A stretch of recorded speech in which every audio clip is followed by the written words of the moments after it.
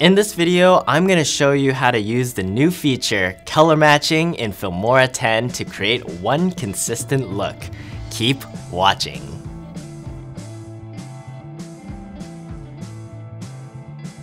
Hey everyone, it's Elliot from Filmora here to empower your inner video creator. Feeling excited for Filmora 10 yet? Filmora 10 comes with a lot of new features including motion tracking, keyframing, color matching, and more. Today, I'm going to teach you how to color match in Filmora 10.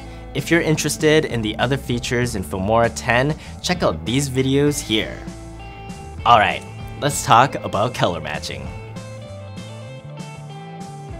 Color matching is used to create a consistent look across your footage. There are many reasons why your clips may look different. Color matching can be used when we have footage from different cameras when editing. Usually they will look different from each other because different cameras have different color settings. But with this tool, it'll make them all look uniform. This timeline includes several shots filmed from different cameras, so the color difference is pretty obvious. Since I want to make them all look consistent, Let's start by choosing a clip that has a look that I like. This clip will be the look I want other clips to refer to, so let's call it the reference clip. Now I will select all the clips I want to change, right click on them, and select color match. Or you could get to the color match feature through the advanced color tuning tool. Just click it and select color match. The settings will be available in the top left panel.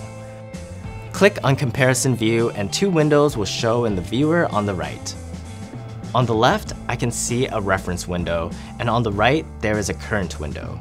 I can go through the reference window timeline to find the best frame from the reference clip I chose earlier. Now, click on Match. After matching, the other clips should look very similar to our reference clip. And that's it! That's how you color match in Filmora 10. How do you like this new feature? Let us know what you think. Download Filmora 10 in the link in the description and give it a shot. Don't forget to subscribe for more tutorials. Keep creating.